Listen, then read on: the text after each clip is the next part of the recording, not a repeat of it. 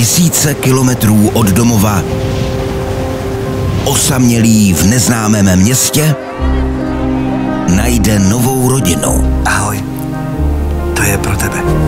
S nejasnými vzpomínkami, ale obrovským odhodláním se po 25 letech musí vrátit domů. Máš představu, jak mi je? Když vím, že můj skutečný bratr a matka mě každý den svého života hledají?